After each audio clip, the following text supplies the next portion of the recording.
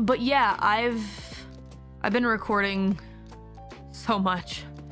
So much. Oh my god. Oh my god, and I've been writing songs like a mad woman. I think you guys can probably kind of guess what's going on. Um, I don't really know why I thought it was smart to be like, ah, yes, I shall start to work on my friend's freelance project at the same time that I start to write the biggest musical project that I've ever made in this VTubing career.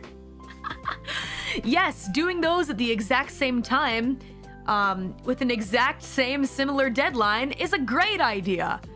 That's awesome. Fantastic. What a freaking dummy. But what can I say? what can I say?